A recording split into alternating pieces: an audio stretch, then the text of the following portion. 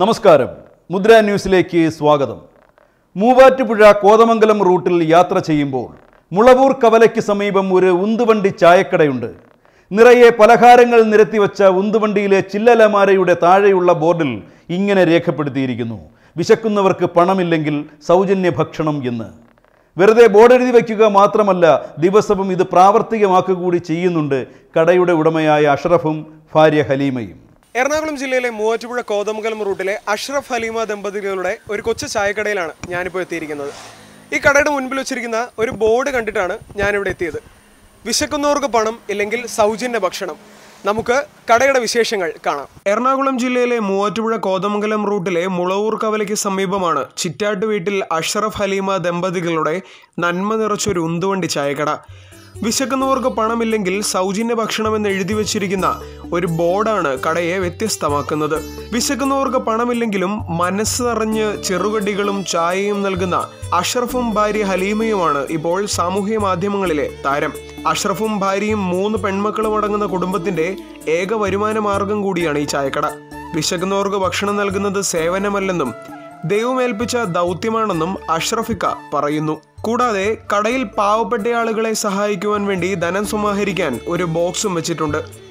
ഭക്ഷണം കഴിച്ച ശേഷം ആളുകളുടെ മുഖത്ത് കാണുന്ന ചിരിയാണ് തങ്ങളുടെ സമ്പാദ്യമെന്നും ഇവർ പറയുന്നു. ഈ കോവിഡ് കാലത്ത് അഷ്റഫും ഹലീമയും മറ്റുള്ളവർക്ക് മാതൃകയാവുകയാണ്. ഇതൊക്കെ എത്ര വർഷമായി കട തുടങ്ങിയിട്ട് അതുപോലെ തന്നെ ഇങ്ങനെ ഒരു ബോർഡ് വെക്കാനുള്ള കാരണം എന്താ?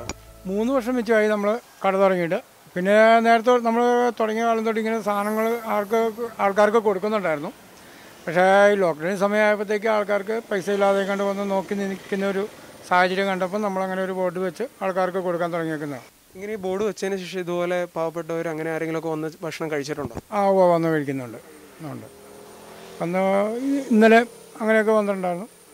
അങ്ങനെ ഓരോരുത്തർ വരുന്നുണ്ട്. ഈ നമ്മുടെ ഈ സമീപവാസികളുടെ ഒക്കെ ഒരു പ്രതികരണം എങ്ങനെയാണ്? നല്ല പ്രതികരണമാണ്. അവരെല്ലാവരും അതിനോട് സപ്പോർട്ട് ചെയ്യുന്ന ആൾക്കാരാണ്. സമീപവാസികളിൽ നിന്ന് പറഞ്ഞാൽ കൂടെ നമ്മുടെ എല്ലാ ആളുകൾക്കും അതിന് നല്ലൊരു അഭിപ്രായമായിട്ടാണ് എല്ലാവരും പറയുന്നത്.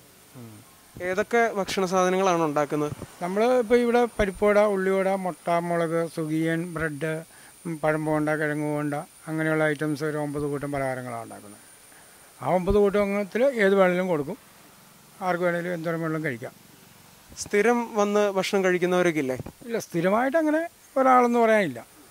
വന്ന് യാദൃശ്യമായിട്ട് അങ്ങനെയുള്ള വരുന്ന ആളുകളൊക്കെയാണ് കൂടുതലായിട്ട്. ഇവിടെ വീടും കുടുംബം ബാക്കി കാര്യങ്ങളൊക്കെ? ഞാനിപ്പോൾ ഈ പുതുപ്പാടി എന്ന സ്ഥലത്ത് ഇളങ്ങോത്താണ് താമസിക്കുന്നത്. വാടകയ്ക്ക് ഇവിടെ ഒരു വീടെടുത്ത് താമസിക്കുകയാണ് മൂന്ന് പിള്ളേരുണ്ട്. ഭാര്യ ഉമ്മ. അങ്ങനെ ഞങ്ങൾ കുറേ ആളുകളാണ്. രണ്ട് പിള്ളേർ വിവാഹം കഴിഞ്ഞു.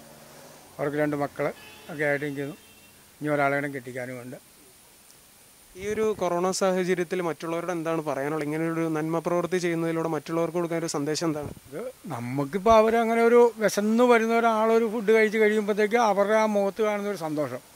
അതാണ് മെയിനായിട്ടുള്ള ഒരു ഉദ്ദേശം. സ്നേഹം നിറച്ചൊരു ചായക്കട. ഇങ്ങനെയും ചില നല്ല മനസ്സുകൾ.